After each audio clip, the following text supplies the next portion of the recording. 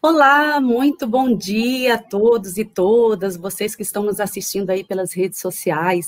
O Instituto Lula e o Instituto João Goulart uniram esforços para organizar este encontro, esse webinário, que certamente é apenas o primeiro de muitos, né? E o tema escolhido para essa estreia aqui é sobre a Revolução de 1930, que marca o fim da República Velha e da política aí do café com leite e as influências desse é, disso tudo, né, no Brasil de hoje. Este webinário conta aí com a participação dos presidentes dos institutos Lula e João Goulart. Bom dia, Márcio Postma. Bom dia, João Vicente. Bom dia, bom dia.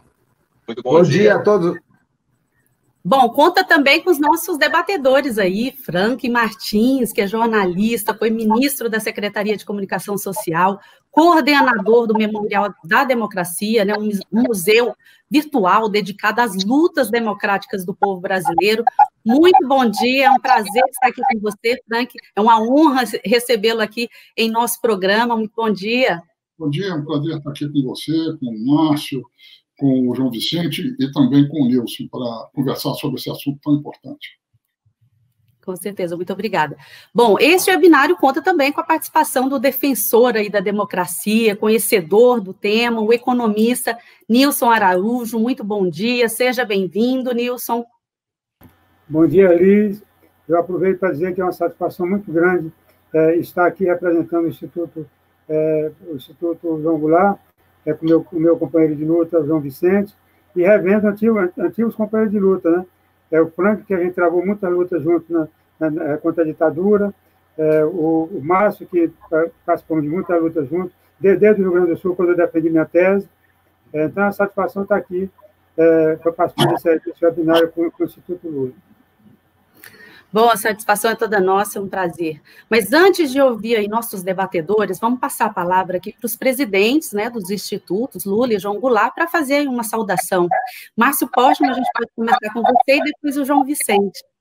Vamos lá? Obrigado, Elis Brandão, pela mediação.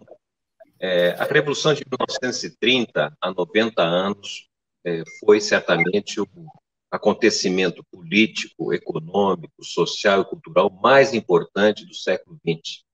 É a partir de, de, da Revolução de 30 que o Brasil deixa de ser um país agrário, se transforma num país urbano, passa a conceder direito às mulheres, direitos sociais aos trabalhadores, funda, de certa maneira, um outro país, com problemas, mas também com um futuro, um horizonte ponto de vista de uma sociedade urbana industrial.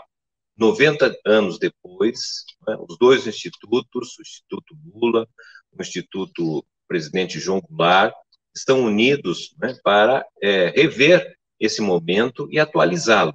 Que medida o Brasil, nesse início do século XXI, na sua terceira década, né, atualiza uh, os momentos da Revolução de 30 e ainda torna contemporâneo do que está em curso no país diante aí de uma, de uma trajetória de governos conservadores. Né? Também devemos lembrar que, é, nesse momento, há 44 anos, né, nosso Brasil perdia um dos principais presidentes da República, que foi, na verdade, impedido né, pelo golpe de 64, o presidente João Goulart, que faleceu no dia 6 de dezembro de 1976. Digo isso né, para agradecer né, essa parceria com o João Vicente, que de pronto atendeu a essa possibilidade de trabalharmos em conjunto, revigorando e revendo a história do país e, sobretudo, atualizando em termos dos desafios que estamos vivendo hoje. Então, quero aqui agradecer em, torno, é, a partir do Instituto Lula, não é, esta parceria com o presidente João Goulart, Instituto, e abrindo, obviamente, aqui um novo caminho de atividades conjuntas essa, esse rever da, da, Revolução de 30 não seria possível se a gente não pudesse contar aqui com a participação especial de Franklin Martins, né, como já foi apresentado, é uma referência, um ícone para nós todos, do ponto de vista do, da sua trajetória, é, da sua intervenção política. E, ao mesmo tempo, também não poderíamos deixar de ter a qualidade desse debate sem a presença do Nilson Araújo, a quem também tenho grande é, referência e satisfação de poder ter nesse, nesse debate inicial a sua presença. Então, certamente os que puderem nos acompanhar, né, os que vão poder assistir em outro momento, terão aqui é, um, um, fato importante, que são dois institutos de ex-presidentes eleitos democraticamente, o, o presidente João Goulart, que foi, infelizmente, interrompido seu mandato, né, como também tivemos a interrupção do, do mandato da presidenta Dilma.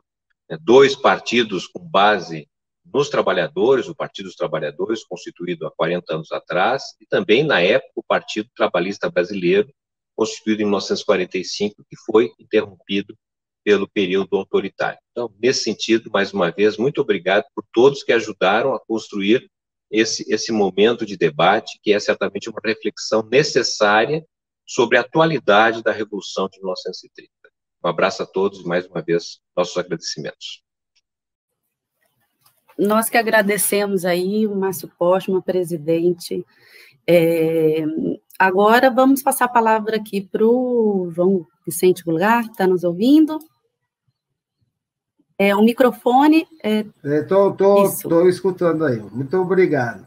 Bom, eu antes que nada é, estou imensamente, imensamente satisfeito com a iniciativa do Instituto Lula através do nosso presidente aí, o Márcio Postman, para que essa aproximação desses dois institutos, de dois ex-presidentes, que têm suas bases históricas, em suas bases de, de atuação, a luta em defesa dos trabalhadores e que nesses anos todos é, estão sendo, nos anos atuais, estão sendo cada vez mais é, vilipendiados os direitos. Nós comecemos é, esse primeiro vídeo, essa primeira iniciativa, essa primeira junção de forças nos dias atuais, para que possamos é, empreender, né, começando pela Revolução de 30, aonde Getúlio Vargas né, acaba é, fazendo a revolução e tirando o Brasil de uma grande fazenda que era para o processo de industrialização e assim começando a criar os direitos dos trabalhadores, o voto feminino, a CLT, enfim, e transportando ao, ao Brasil, a um Brasil nacional, ao Estado Nacional brasileiro mais forte, com mais condições, nós tenhamos hoje aí os, os, nossos convidados, o Franklin, uh, em nome do Instituto Lula, o nosso querido Nilson Araújo, em nome do Instituto Presidente João Goulart, para que possamos, desse início da Revolução de 30, e num esforço em conjunto, que será, sem dúvida alguma, esta primeira, mas não a única vez, desse esforço em conjunto, para que possamos continuar a avançar não é, no debate daquilo que o Brasil está passando hoje, que nós possamos ter aí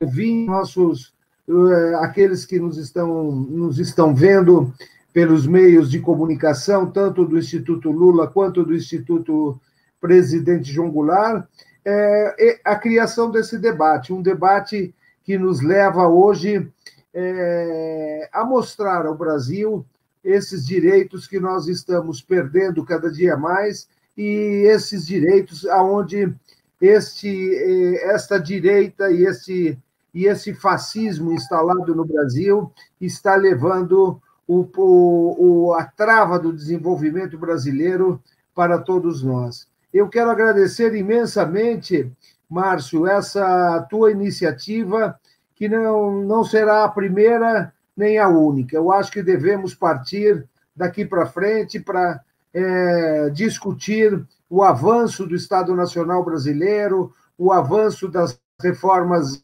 das reformas de base, que foram a continuação do projeto é, do Estado Nacional de Getúlio, o golpe de Estado e, posteriormente, evidentemente, a volta da democracia brasileira com a ascensão dos trabalhadores novamente ao, ao poder no Brasil através do presidente Lula e que esta discussão sirva ao Brasil para a sua emancipação e pela sua luta de liberdade e pela sua luta de direitos de coexistir como um povo pacífico e um povo soberanamente independente. Então, meu muito obrigado, obrigado ao presidente Lula, obrigado ao Instituto por essa iniciativa, uma iniciativa que, sem dúvida, nessa data de 6 de dezembro, de morte do presidente João Goulart, o único presidente constitucional desse país que morreu no exílio lutando pela liberdade, pela democracia e pela justiça social.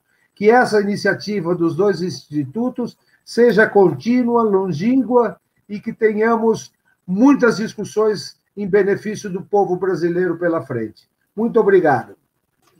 Bom, nós que agradecemos aí, João Vicente, muito obrigada. É os anfitriões, né, organizadores deste webinário, com certeza é um tema muito pertinente para o nosso debate. Então, Márcio Postman, presidente do Instituto Lula, e João Vicente, presidente do Instituto João Goulart, muito obrigada. Bom, a vocês que estão nos assistindo, fiquem à vontade para mandar seus comentários aí no chat, sejam muito bem-vindos participe aqui com a gente desse debate. Agora vamos ao tema, né, sobre esse tema que é tão complexo, é, divergente, histórico, mas que teve consequências para o Brasil e para o povo brasileiro, um debate fundamental. E com a palavra, então, Frank Martins e depois o Nilson Araújo, com vocês. Agora, eu acho que eu,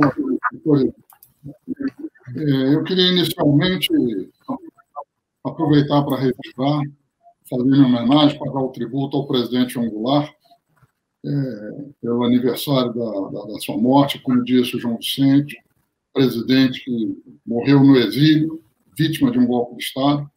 Quer dizer, é alguém que deve sempre ser lembrado com carinho, com respeito, é, por tudo que fez pelo povo brasileiro e pelo que ele abriu de caminhos para todos nós.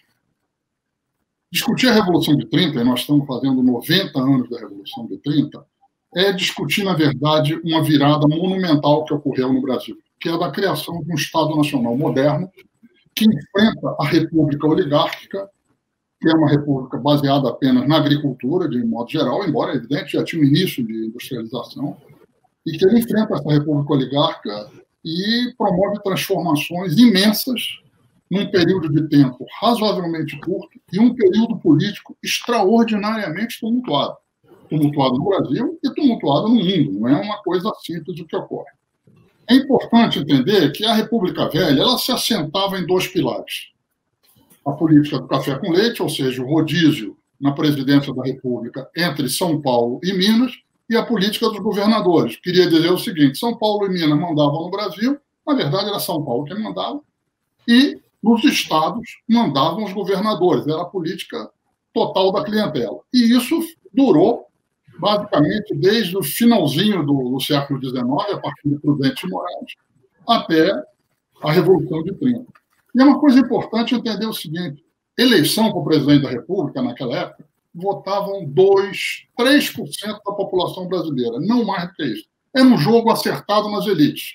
E, de um modo geral, o candidato que ganhava tinha 90, 80 e pouco por cento do voto. Washington Luiz, por exemplo, foi o último presidente eleito na República Velha, teve 98,7% dos votos, para terem ideia. Mas votaram naquelas eleições, entende? Apenas 2% da população brasileira. Isso é importante para entender. Era um regime que acertava tudo entre as elites, era um jogo de cartas marcadas, capitaneado por duas províncias, e basicamente pelo café e pelo leite. Era isso que determinava.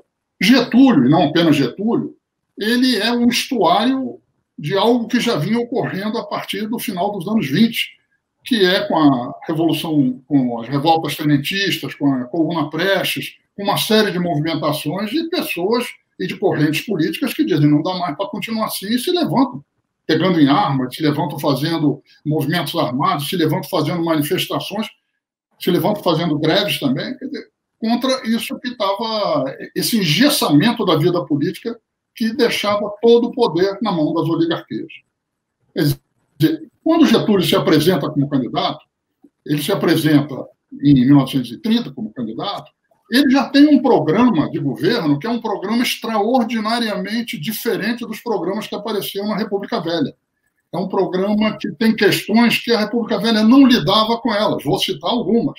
Entende? Começa a falar claramente na necessidade do voto feminino, entende?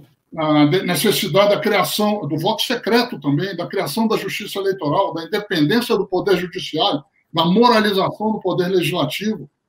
Começa também a dizer que tem que ter uma reforma de ensino, tem que ter medidas protecionistas para a economia e não apenas para o café. É preciso criar as bases para a industrialização do país é necessário a anistia aos revolucionários de 1922, de 24 e depois de 25 e 27. Ou seja, já é um programa que vem com uma série de mudanças, não é algo que ele saiu inventando depois. A eleição foi disputadíssima, para os padrões da época, houve uma concorrência às urnas muito grande, cerca de 5% dos brasileiros foram, dos brasileiros, porque as mulheres não votavam, só os homens, foram às urnas, e Getúlio perde nas urnas, mas perde numa, numa eleição que todo mundo sabia que era fraudada, e se levanta em armas, e em pouco tempo a República Velha cai, porque ela já não tinha mais apoio da população, não tinha mais apoio, mesmo das oligarquias estavam divididas, e Getúlio chega ao poder é, no finalzinho de 1930 e abre um período de uma revolução no país. Gente pode se perguntar, mas houve uma revolução, houve uma mudança de, de classes sociais no governo? Revolução não é necessariamente mudança de classes sociais. Quer dizer, houve uma mudança, o Brasil saiu da oligarquia para setores das classes dominantes, apoiados numa mobilização popular de envergadura, que tinham como objetivo fazer uma transformação profunda no país e que fizeram essa transformação profunda no país. Primeira providência de Getúlio, e é engraçado que ele já fala desde aquele momento, esses primeiros tempos são de ditadura. Ele não está dizendo que não era, não, são de ditadura. Então ele diz, não tem mais governador de Estado, tem que ter interventor nomeado pela gente. De modo geral, ele nomeia para os cargos de interventor nos Estados é, tenentes que tinham trajetória de luta pela renovação política e econômica do país é, ele dissolve o Congresso, passa a governar com decreto legislativo. Ele diz assim: é preciso aproveitar esse momento que nós temos para fazer as mudanças que estão aí. E ele já vai logo depois, ele já vai logo dizer depois é, que vai convocar um constituinte, mas que antes disso ele precisa arrumar a casa. E a arrumação que é feita na casa é feita de uma forma impressionante. É, é impressionante por quê? Porque é um período tumultuado. Logo, logo, São Paulo se levanta com o que eles chamam da Revolução Constitucionalista, mas na verdade era uma revolta por São Paulo estar profundamente chateado por ter perdido o controle da vida política do país. É importante entender que quando São Paulo se levanta, já haviam eleições marcadas para constituir, estavam marcadas para maio de 33. Ele se levanta mesmo assim. Então é um período muito tumultuado. São três meses de guerra civil. Os paulistas são derrotados. Eles achavam que outros estados entrariam junto com eles e não entraram. Então, eles sofrem uma derrota importante. E é um período que vai ser tumultuado também, porque as democracias no mundo estavam em crise e crescimento, havia o crescimento em alguns países do fascismo, o comunismo se fortalecendo também em outros países, basicamente na antiga União Soviética. Isso gerava uma tensão muito grande que vai conduzir ao processo da Segunda Guerra, e isso agravado pela crise de 29, ou seja, havia uma grande crise econômica em escala mundial. Então, é um período de muito tumulto. Getúlio recorre a isso, enfrenta essa situação, o que é impressionante é o seguinte: é aplicando o programa que ele tinha. E qual era o programa que ele tinha? Um programa de criação de um Estado Nacional moderno, que promovesse o crescimento econômico, tivesse políticas sociais civilizatórias, tivesse políticas nacionais de educação, de saúde, regimes de aposentadoria, tivesse políticas indigenistas, produziu a Marcha para o Oeste, que criasse empresas estatais em setores estratégicos e acabou criando depois Companhia Siderúrgica Nacional, a Vale do Rio Doce, mais tarde abrindo caminho, já no período depois da redemocratização, para a criação da Petrobras, para a BNDES, mais tarde no governo João Goulart, para a Eletrobras, criação de novas instituições públicas estratégicas. O Brasil não tinha Ministério do Trabalho, foi criado por Getúlio logo depois da Revolução de 30.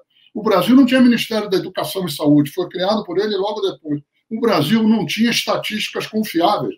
Logo ele cria o Instituto Nacional de Estatística, que logo depois se transforma no IBGE, que foi fundado por ele, os institutos de aposentadoria, as universidades foram fundadas por, no período Getúlio, o Serviço de Proteção ao Patrimônio Histórico foi criado por ele, a, a, a, a instrução de profissionalizantes, tipo Senai, Senai, criado por ele. Ou seja, é um aparato de, de que é criado que é o seguinte, para poder modernizar o Estado, ou seja, o Estado não é mais quem fica dando dinheiro para as oligarquias. O Estado é algo que é alguém que procura conduzir, dirigir um processo de reformulação profunda do país que tem uma meta muito clara. É o projeto de criar a industrialização do país e fazer com que o país é, passe a não estar sentado apenas na agricultura. Quer dizer, legaliza-se a atividade sindical, embora é sempre uma coisa com duas medidas, se legaliza a atividade sindical, mas tem muita repressão também aos sindicatos que não se conformavam com o governo, porque é, como eu dizia, um período extraordinariamente tumultuado do ponto de vista político.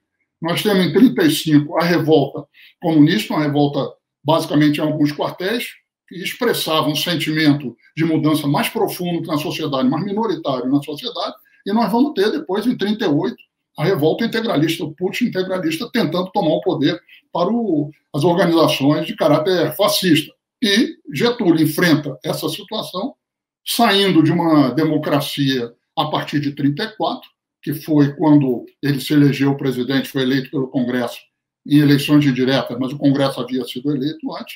Ele, em 37, quando estava próximo da eleição de 38, Getúlio, então, é, dá o, o, golpe de Estado de novembro, novembro de 38, que cria o Estado Novo. Então, é um período extraordinariamente tumultuado, porque 39 estava começando a Segunda Guerra Mundial.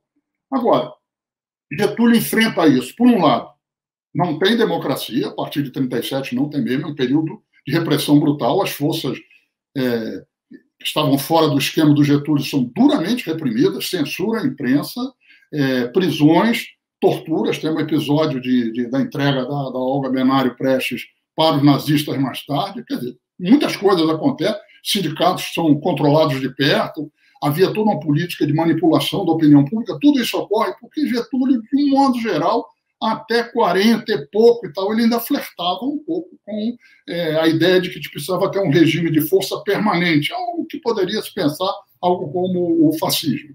Entende? E ele acaba abandonando isso, porque percebe que o projeto dele central, que é da industrialização e modernização do país, só seria possível, entende, com base, quer dizer, na formação de uma aliança política que passava internacionalmente com aliança com os países democráticos que enfrentavam o fascismo naquela época.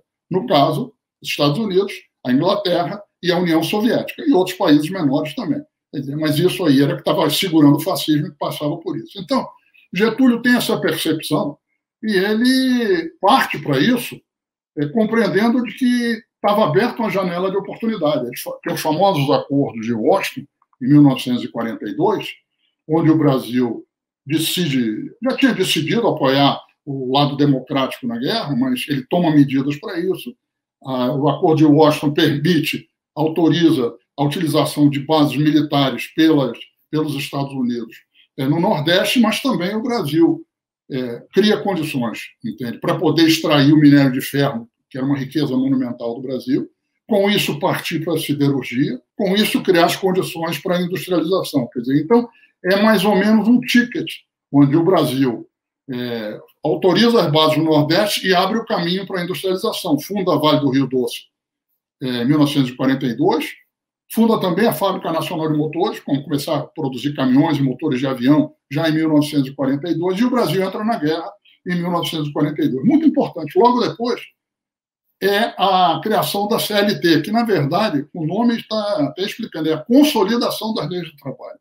Ou seja, Getúlio, desde o primeiro momento da Revolução de 30, desde lá em 1931, ele coloca no centro a necessidade de criação de políticas sociais civilizatórias, políticas trabalhistas civilizatórias.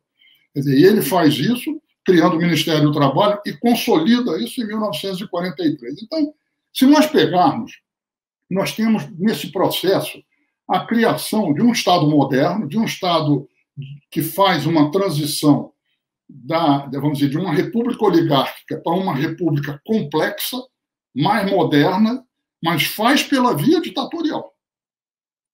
E quando o Brasil entra na guerra, o Getúlio se defronta em 42, em agosto de 42, ele se defronta com um dilema que acompanhá-lo, como é que o Brasil poderia estar atuando ao lado das potências democráticas daquele momento. Mais do que isso, enviando tropas para lutar na Itália contra o fascismo e, ao mesmo tempo, não ter uma democracia é, e regras democráticas e disputas democráticas dentro do Brasil. Então, isso gera um caldo de cultura, renasce a luta política, entende? Muitas forças de, passam a fazer oposição moderada ou pontual ao, ao governo, mas isso vai gerando um clima que, em 45, o próprio Getúlio decide convocar as eleições, quando está ficando evidente a vitória dos aliados na guerra, que ele é, decide convocar as eleições e convoca as eleições. Essas eleições sairá vitorioso depois o, o, o Dutra, e Getúlio acaba sendo deposto, porque parte das Forças Armadas achava que ele queria continuar no poder, e muitos historiadores acham que ele continuaria, é, gostaria de continuar no poder, mas o fato é que ele não fez movimentos, houve o queremismo de que queriam constituinte com Getúlio, mas ele não tomou medidas é, exatamente para, vamos dizer, para impedir as eleições. Mas tinha na memória da, da sociedade o que ele tinha feito em 37, entende? Às vésperas das eleições de 38, com o golpe do Estado Novo. Então, setores das Forças Armadas acabaram afastando o Getúlio, ganhou as eleições, ganha as eleições o Dutra. E uma coisa que eu já acho importante assinalar aqui, nas eleições que o, o Júlio Prestes derrotou fraudulentamente o Getúlio, votaram naquela eleição 1 milhão e 900 mil brasileiros. Foi uma eleição com enorme participação para a República Velha. 1 milhão e 900 mil brasileiros. O que equivalia, na época, a 5% da população brasileira. Quando Dutra é eleito, votam 5 milhões e 800 mil, é, mil brasileiros, o que já equivale a 13% dos brasileiros da população na época. O que, que promoveu essa mudança? Claro, teve o voto feminino, que tinha sido uma conquista no governo Getúlio, e elas nunca tinham votado para presidente, uma votação direta, mas teve principalmente uma presença crescente dos trabalhadores que descobriram durante o governo do Getúlio, inclusive no Estado Novo, que a participação política era algo extremamente importante, era algo crucial para a defesa dos seus direitos.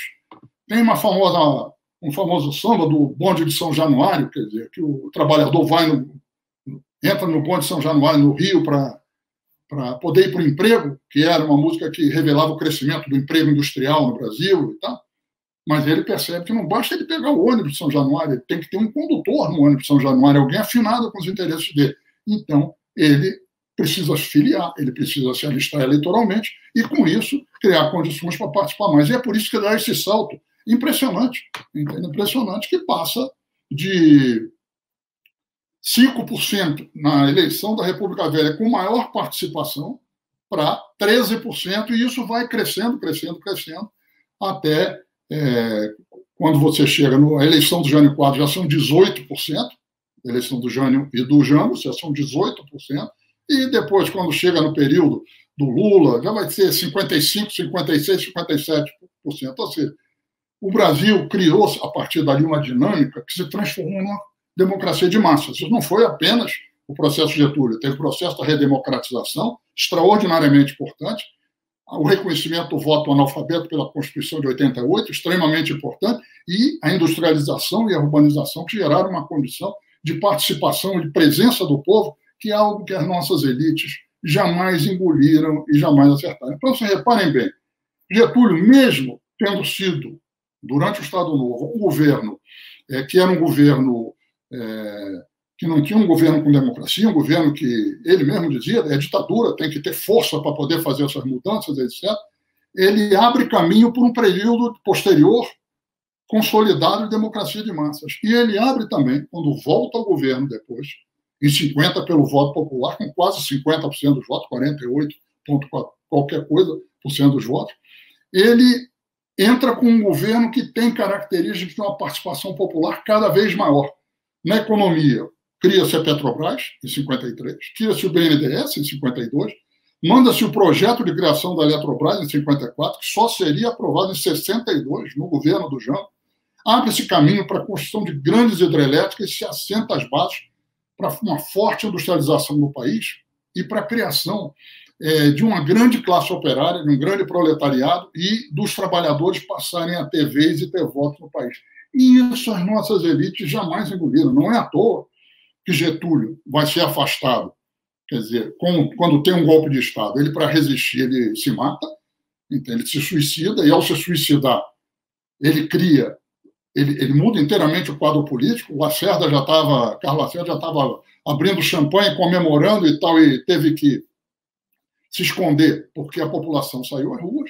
Dizer, então, tem esse processo que, de continuidade de mudanças na economia, que vem depois, tem o processo de continuidade de mudanças na política, que vem depois, e como as nossas elites não conseguem conviver com isso. Elas tentam o golpe contra Getúlio, elas tentam depois o golpe para impedir João Goulart de tomar posse depois da renúncia de Jânio, e isso é detido pela mobilização popular e, e pela resistência liderada pelo governador do Rio Grande do Sul, então, que era o Leonel Brizola, dizer, e eles terminam sendo vitoriosos no golpe de 64.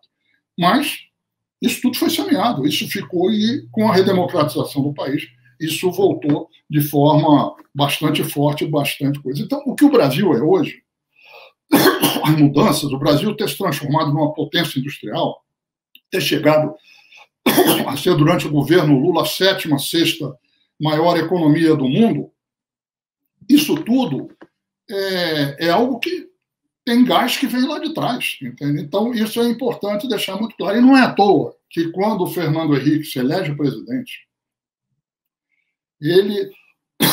Uma das, o primeiro discurso dele, agora eu não me lembro se é o discurso onde ele deixa o Senado ou se é o primeiro discurso dele depois da eleição presidente. Ele diz que a meta do governo dele, um governo claramente neoliberal, um governo que estava com os ventos soprando da Margaret Thatcher, do Ronald Reagan, do neoliberalismo no mundo, que a meta do governo dele era acabar com a era Vargas.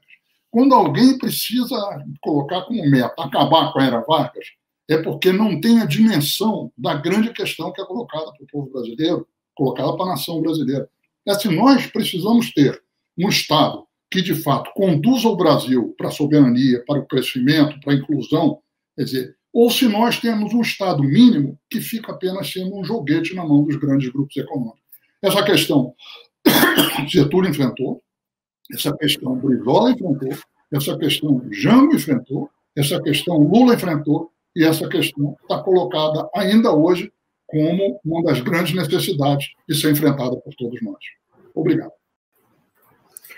Nós que agradecemos, Frank, muito obrigada. Nós que agradecemos aí essa aula, né, do Franklin Martins, que é jornalista político, foi chefe, ministro-chefe, né, da Secretaria de Comunicação Social do Brasil, militante de esquerda aí da luta contra a ditadura. Muito obrigada pela sua participação, excelente aula. Agora nós vamos passar a palavra para o pós-doutor em economia, grande conhecedor aí da história e da política, Nilson Araújo, com você, eu acho que não haveria é, melhor momento de discutir a, a, Revolução de 30 do que esse que completa 44 anos da morte do, do, do João Goulart.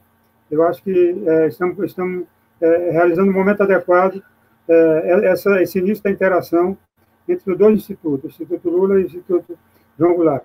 É, eu parto da ideia de que, é, já, já, o Frank já, já falou isso, de que a Revolução de 30 realizou o processo mais profundo de transformação da história do país.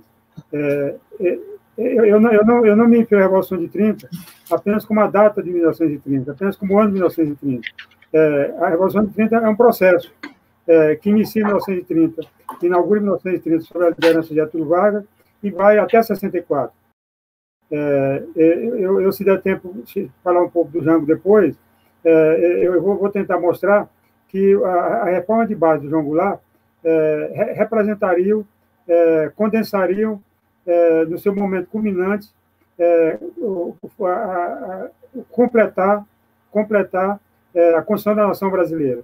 É, então, a Revolução de 30 é, um processo que vai, a meu ver, de 30 a, a 64. Em 1930, é, como o Franco já colocou, o mundo estava em crise é, o, o, sistema, o, sistema, imperialista mundial atravessava a crise mais profunda é, de, desde a criação do capitalismo. É, já tinha tido outras crises no passado. É, no, no, século, no final do século XIX, mil, da década de 1870 à década de 1990, é, viveu uma crise estrutural chamada de Grande Depressão. É, já, já, se chamava naquela época de Grande Depressão. só que voltou a Grande Depressão na, na, na, a partir de 29. Mas é uma crise mais geral que envolve duas guerras mundiais.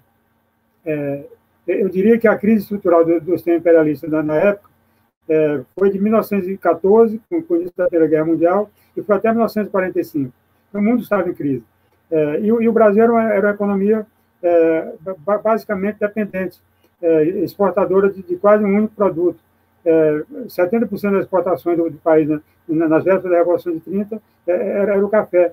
Então, era chamada, como o, o colocou, chamada República do Café com Leite, em que havia o acordo do, dos cafeicultores de São Paulo com, com, com, com os ganadeiros, como, como chamamos o pessoal de língua espanhola, do, de, de Minas Gerais. É, então, é, esse sistema de, de dependência, que de, depende de, de, exportar um produto é, e importar praticamente tudo que, que, é, que se industrializar, que se, se consumir de produtos industriais, é, isso entrou em crise também. É, então, 1930 representa uma crise econômica e também uma crise política. É, e a crise política veio, veio basicamente porque o, o, o, presidente da época, é, o Washington Luiz, é, não, não quis cumprir o acordo que era a alternância. É, ora, o presidente do, de, de, São Paulo o presidente de Minas Gerais e indicou para sucedê-lo é, um, um, um, governador que era chamado de presidente também é, de São Paulo na época. É, e por que, que ele indicou alguém de São Paulo? Porque com a crise profunda é, que, que, se abateu sobre o país, ele, ele, não achava que alguém de Minas Gerais teria condição de defender os interesses dos cafeicultores tão profundamente como é, o, os paulistas. É, então, da, da, daí derivou a crise, a crise política, é, o, o é que se, se abre o processo revolucionário e começa a Revolução de 30. É, o, o, Getúlio, como disse o, o Frank, já tinha é, é, uma série de ideias é, relativamente claras sobre o que fazer para desenvolver o país. E, e, e, é isso que ele realiza, e, e essas ideias vão amadurecendo, vão aprofundando ao, ao longo do tempo. É, a primeira conquista é, do, do, do período de Getúlio é a industrialização do país. É, o Brasil já havia experimentado alguns surtos industriais. É, havia experimentado o surto industrial né, do século XVIII, né, lá, lá, na região do, das Minas Gerais, havia experimentado o surto industrial na década de, de 1840 com, com, com Alves Brito, que foi ministro da, ministro da Fazenda, havia experimentado na, na, na época do, do, início da República, é, com o Rui Barbosa, ministro da Fazenda, durante a Primeira Guerra Mundial, mas eram surtos industriais. É, não havia se consolidado a industrialização. A industrialização se consolida é, a partir é, de 1930. Bem, e, e, a industrialização tinha algumas características importantes. É, era a industrialização que se montou basicamente é, dois setores. O setor de bem de consumo popular, que já havia um pouco antes de se desenvolver, consolidou, e a indústria pesada. a indústria siderúrgica, de, depois a Petrobras, e a indústria pesada. É, isso na aliança entre é, o, o, Estado Nacional de Getúlio Vargas e a burguesia nacional. É, a burguesia nacional controlava o setor de bens de consumo popular e o Estado, a, a indústria pesada. É, e, e tinha, tinha, alguns elementos importantes é, que, que, estavam por, por trás dessa questão, é, que era o, papel do Estado. O Franco fez uma colocação que eu estou de acordo, de que o Getúlio criou o Estado moderno brasileiro. É, eu, eu, eu, diria um pouco mais, que Getúlio, na verdade, é, a Revolução de 30, com Getúlio na, na liderança, é, criou o Estado Nacional Brasileiro. É, porque antes o que havia em 1930 não era bem um Estado Nacional, é, é, era uma mescla, um embrião de Estado que não era bem um Estado Nacional. Porque não, não, havia as bases, as bases estruturais para esse Estado Nacional. O Getúlio criou não, não apenas as bases materiais, basicamente a industrialização, a base material para ter um Estado Nacional, é, e criou a, a, base, a base da superestrutura. É, a superestrutura, só para, só para ter um exemplo, dar um exemplo, é, a criação do DASP, é, do, do, departamento é, é, que, que, era que, quem administrava a, o, pessoal do, do, do governo, era um departamento que, que se central no, no, Estado através de concurso. então, ele, criou as, as bases institucionais é, e criou as empresas estatais, que também são outras bases nacionais do, do, do, do, Estado brasileiro. Bem, é, e como eu falei, tinha uma concepção por trás disso. É, essa concepção ele foi é, desenvolvendo é, ao longo do tempo. É, ficou, ela ficou mais precisa na, na, na, no segundo mandato dele, de 1950, de 1951 em diante, mas já estava presente desde antes, que é exatamente a questão nacional. É, ele, é, três meses antes das, das eleições, que o levaram ao poder em 51 de novo, é, ele, ele colocou o seguinte, empenhar-me-ei, uma entrevista que ele deu, é, a fundo para desenvolver um governo eminentemente nacionalista. É, então, essa era, era, a questão de fundo que definia é, a concepção de Getúlio, exatamente a questão, é, a, a, questão nacional. É, mas, junto com isso, tinha uma, uma, uma, outra questão que o Frank já levantou. É, desde o começo, desde o início do governo, já ele colocou a questão da proteção ao trabalho é, da, da, questão do trabalho como um elemento central do desenvolvimento do país, com a criação do Ministério do Trabalho. É, ele, ele, foi criado, na época, uma das legislações trabalhistas mais avançadas do mundo. É,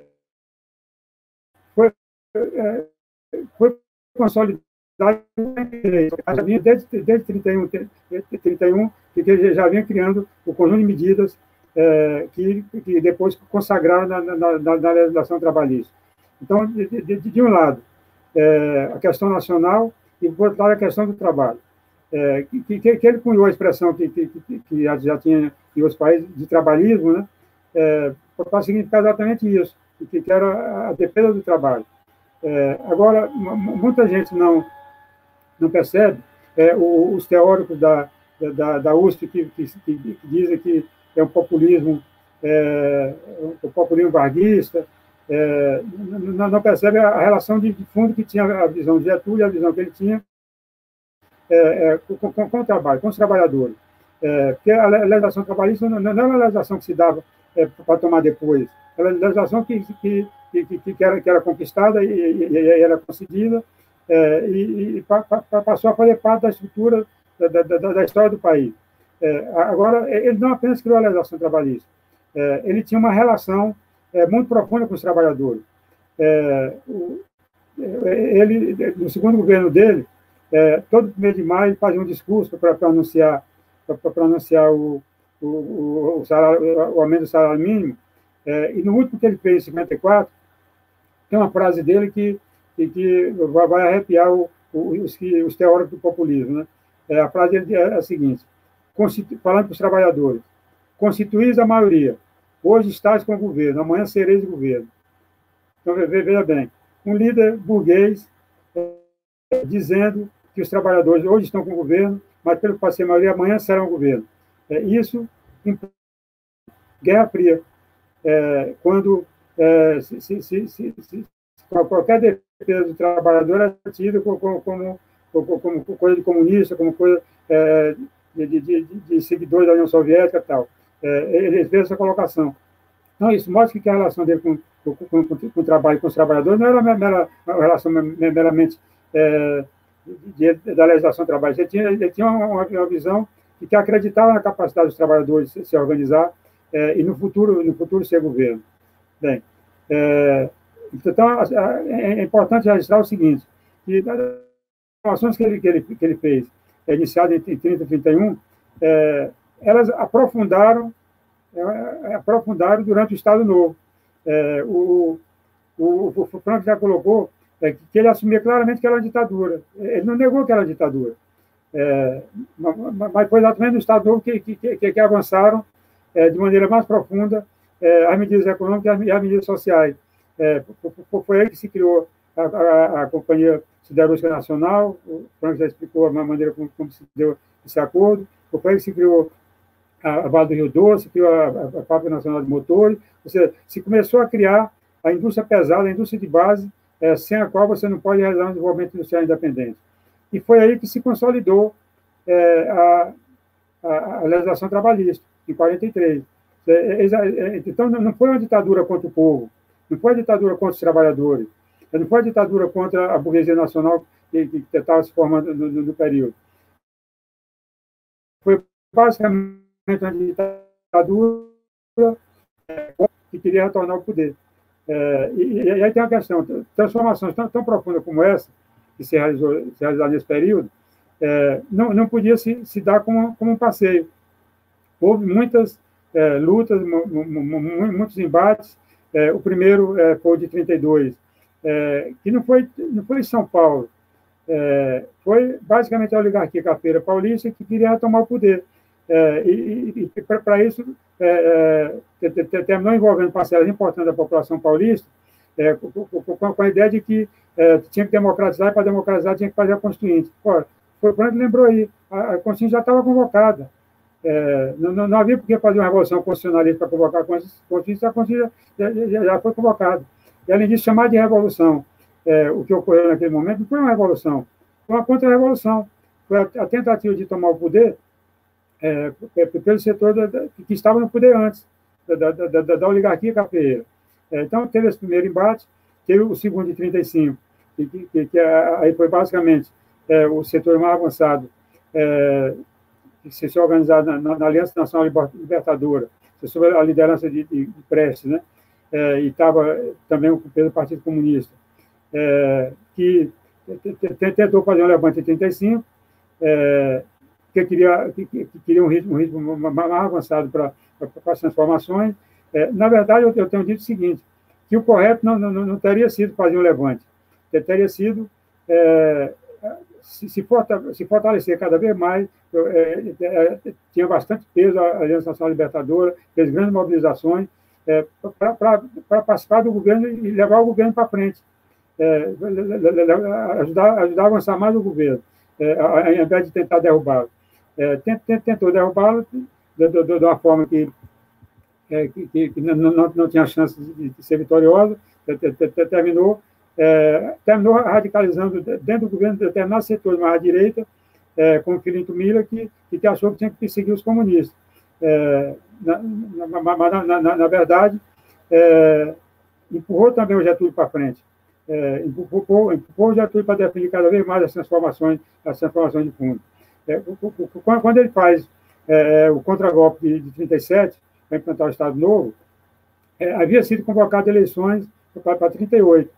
É, só que o, o, o, os dois principais candidatos de oposição, que, que, eram o, Plínio Salgado, é, dos integralistas, é, e, o, e o Armando Sá de Oliveira, que, que era o, interventor de São Paulo, é, estava armando claramente o golpe. É, o, Armando Sá de Oliveira se, se chegou a, a, a, mandar ler no Congresso Nacional um documento é, conclamando os militares ao golpe. E, e, esse documento ele mandou distribuir depois na, nas, nas portas dos quartéis. E, e, o, e, o, e o integralista estava de tal maneira querendo dar o golpe que, de, que depois que o Getúlio deu contra-golpe, tentaram em 38 derrubar o Getúlio e assassinar o Getúlio. Então, entraram no palácio tentando assassinar, assassinar o Getúlio. Então, não, não, não, não foi. É, ele retoma na, na década de, de 50, é, de, depois de cinco anos por fora do, do, do poder, é, as transformações. É, e aí, cria a Petrobras, o Frank já colocou, mandou o projeto da Eletrobras, mandou a, a, o projeto de lei de remessa de lucro para controlar é, a, a, remessa de, de, de lucro do capital estrangeiro. É, agora, a realidade na década de 50 havia começado a mudar. Havia começado a mudar como? É, o, sempre, o sempre imperialista mundial, que, que havia trans da, da Inglaterra é, se, se envolveu com, com, com outras contêineres pelo mundo afora. Guerra na Coreia, a construção da, da Europa, e, e, isso favoreceu o Brasil poder seguir, se, se seguir avançando na sua, na, na sua construção. É, mas aí, a partir da década de 50, com o fim da Guerra da Coreia, é, os Estados Unidos jogaram pesado para recompor o, o, o, o, espaço que a Inglaterra havia tido aqui na região. É, e, e, começa a, a, a, pressionar os governos, é, como o Getúlio, como o, o, o, o Perón na, na, na, Argentina, que era um governo nacionalista. É, então, a, a, pressão que havia aqui dentro da UDN pelo Carlos Lacerda, ela, ela, ela, na verdade, era, é, é, era empurrada é, e era legitimada e era patrocinada é, pelos interesses do, do, do, do, imperialismo dos Estados Unidos. É, terminou ocorrendo ele dando um tiro no peito, teve um interregno, um interregno com o Capé Filho, que era o vice, que abriu as portas para o capital estrangeiro, teve como ministro da Fazenda o Eugênio Goudan, que era o maior entreguista da, da, da história do país, é, e mas logo depois assumiu o Juscelino, é, que tinha sido, o Juscelino foi lançado candidato, quando o Getúlio ainda vivo, ele, ele fez um, um, um, foi, foi a Minas Gerais junto com o Tancredo, e, e lançou, e lançou a chapa, Juscelino Kubitschek para presidente e o João Goulart para vice.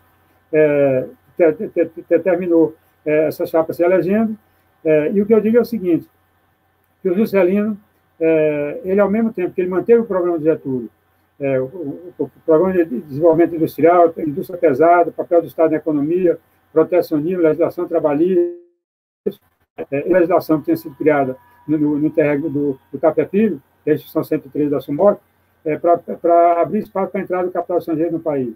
Então, ele, ele deu uma, a Deus ou tal diabo, manteve o programa, ao mesmo tempo começou a abrir, abrir, abrir as portas do capital estrangeiro. É, quando assumi Jango, é, todos nós conhecemos a história, é, o, o Jango assumiu é, sem poder governar, é, porque foi feito um acordo no Congresso para ele poder assumir até ele o regime parlamentarista.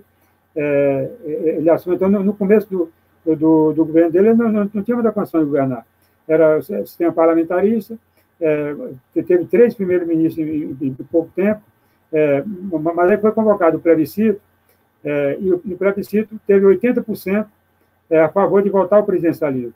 Isso, a meu ver, significava a carta é, que, é, que, foi entregue pelo povo brasileiro ao Jangular para ele fazer as transformações, porque 80% a favor do presidencialismo sabia que era para ele virar presidente. É, e, e, e, aí o que, que ele faz? ele é, contrata, é, convoca o Celso Furtado para elaborar, elaborar, o, plano, o plano de governo. Celso Furtado elaborou o plano, plano trienal. É, tinha dois aspectos do plano trienal. É, um deles era, era, de curto prazo, tentar conter a inflação, e o outro era a reforma de base. É, terminou em função da, da, luta política, da luta social, o, o Jean Goulart abandonando esse, esse, aspecto conjuntural do momento e se concentrou na reforma de base. É, a reforma de base são basicamente oito. Deixa eu ver se eu se, se, se eu consigo me lembrar.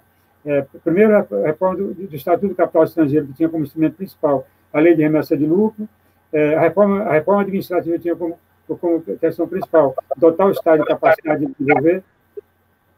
Pode, se encer, pode ir encerrando, o Nilson, nós estamos aqui com um minuto. Então, então vai encerrar. Ah, tá bom.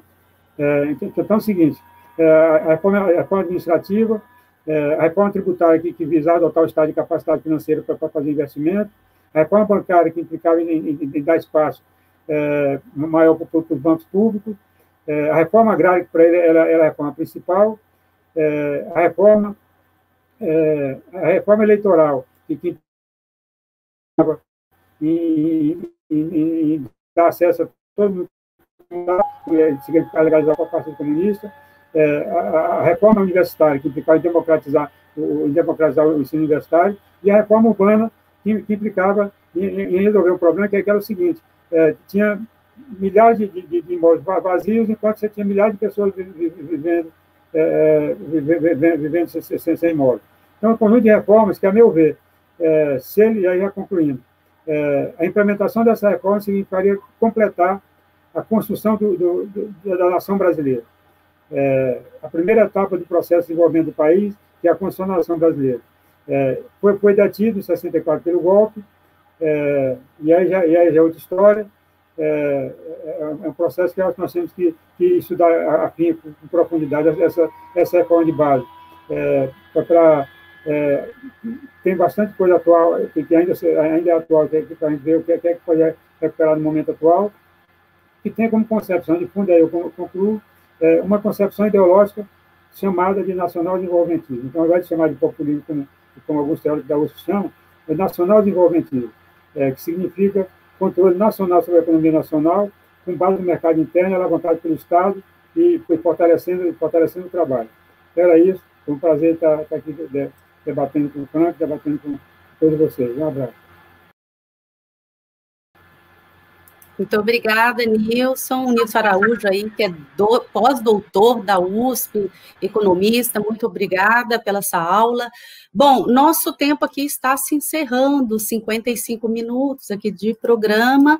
Gostaria, bom, é, espero que todos tenham gostado desse webinário, né, com esses mestres, né, este é o primeiro webinário organizado aí pelo Instituto Lula e o Instituto João Goulart, que debateu esse importante fato histórico, né, suas projeções é, no, no, no, posterior desenvolvimentismo do país, né, a década de 30 no Brasil, no mundo, caracteriza aí um dos seus um dos períodos mais complexos aí da história contemporânea, ocorreu aí há 90 anos e ainda nos causa esse excelente debate. Eu queria agradecer imensamente aos participantes, aos presidentes dos institutos, aí Márcio Postma e também ao João Vicente Goulart, que é o anfitrião né, desse webinário, que organizaram esse webinário. É, também gostaria de agradecer a produção desse programa. Muito obrigada a todos, a audiência. Foi um prazer mediar este programa para vocês. Agradecer a participação de todos que nos assistiram até aqui. Agradecer a produção também que nos ajudou, o Antônio, o Gustavo, o Vinícius, a Ana. Muito obrigada. Bom dia a todos. Muito obrigada.